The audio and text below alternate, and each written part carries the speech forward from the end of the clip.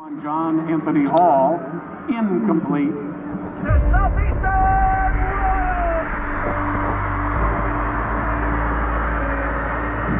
Fifteen, one, fifteen for a twenty-five yard field goal.